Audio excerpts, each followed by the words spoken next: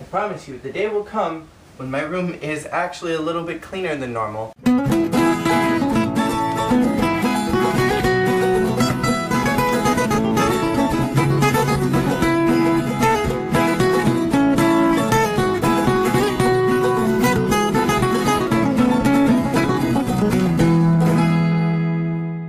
Hello friends, my name is Jeremy and today I'm going to be reviewing the Disney Store 12-inch Prince Naveen doll. Now I'm going to be completely honest about Prince Naveen. He is my least favorite Disney prince of them all. However, this is a kick-butt doll. Let's just be real. So, the reason why I don't like Naveen is because I don't think that he was a very good prince for Tiana. I think that he's kind of a selfish, stuck-up twat I get that he gave up his dreams of being a twat forever to marry her and to be like her prince, but still, I think he was kind of a selfish douchebag. That his doll is gorgeous. Can we just appreciate this face sculpt because he's got such a defined jawline here. His face is beautiful, way prettier than his face in the movie.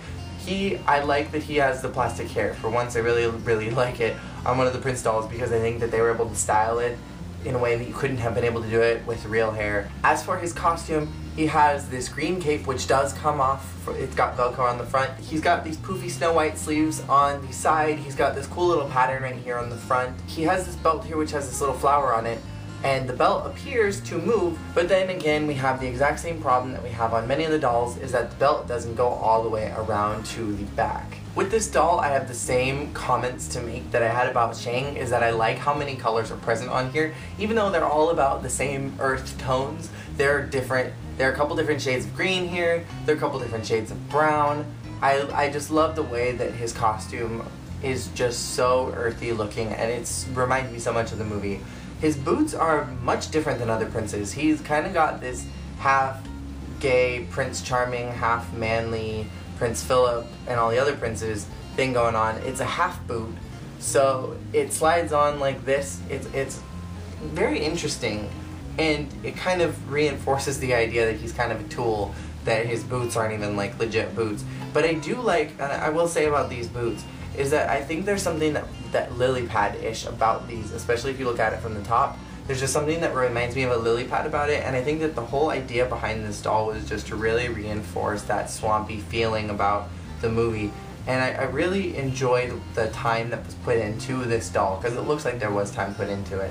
The, the one thing that I am a little bit, cons not concerned, but it's just like, it's funny, because every single one of the princes has underwear that coordinates with their pants. Every one of them. Naveen, on the other hand, has green underwear, and I don't know if that is because they didn't want him to look naked, because if they had given him the brown underwear, like his pants, I mean, they're two totally different shades of brown, the color of his skin and the color of his pants. But maybe that's what they were afraid of, or maybe they thought that it would look like he pooped himself, and it just smeared everywhere.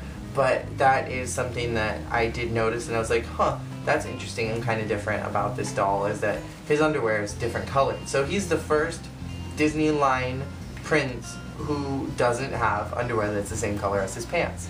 I do love his smile. I want to get to that. Is that he's got this gorgeous smile here and he's got little dimples. I'm going to give you a little close up of that so you can see.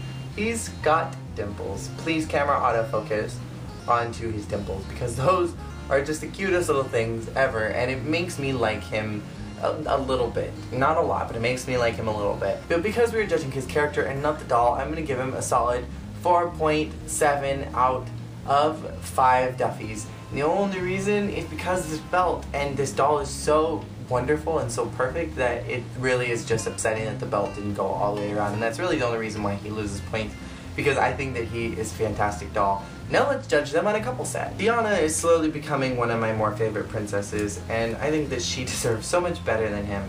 But as far as these dolls are concerned, I think that the way that the Disney Store organized this, this is the swirly dress Tiana, this is not the new one. I think the way that the Disney Store organized this is that the two of them have costumes that are almost identical to each other. They totally complement each other. The tones are pretty much identical except for his browns that are not existent on her dress. And even on the new one, they're not really existent. But they have so many of the same shades going on that they match each other, and I think there's something so cute about that. I think that they just look happy to be together. I don't think that they look upset like some of the other dolls. and I really like the two of them together. I think that they just look like a very fun couple, and it looks like they know that things are gonna work out because they have love. So I, I really just like these two dolls together, and so I'm gonna give them a solid 5.5 out of 5 on a couple scale. Each one of them has their own little faults, particularly on their dolls, but I think that just together they balance each other out so well that they just become a perfect little set. So thank you guys so much for watching. Tiana peed glitter all over my hands, so I'm gonna go clean myself up, and I will see you all next week when I will be reviewing the last of my Prince line, and that will be Flynn Rider. But fear not, the Disney doll reviews will not end. I have many of the companions, so you will have those to look forward to in the final installment of my Disney doll reviews, which will be the companion dolls. So I will see you all next week with Flynn. Peace out. Finger mouse. Cool.